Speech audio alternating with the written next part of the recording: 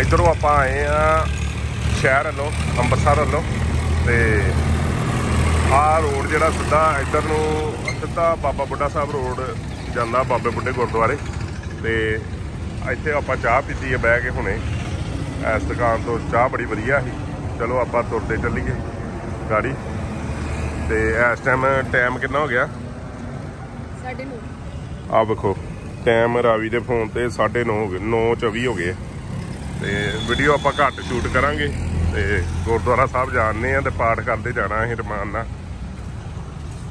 ਗੱਲਾਂ ਵਾਲ ਘੱਟ ਧਿਆਨ ਆਂਦੇ ਨਾ ਰਾਵੀ। ਹੈ?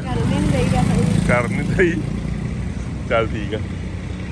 ਚਲੋ ਠੀਕ ਆ ਜੀ, ਮਿਲਦੇ ਤੁਹਾਨੂੰ ਅੱਗੇ ਚੱਲ ਕੇ ਫੇਰ, ਕਿਉਂਕਿ ਆਪਾਂ ਟਾਈਮ ਨਾਲ ਪਹੁੰਚੀਏ ਗੁਰਦੁਆਰੇ।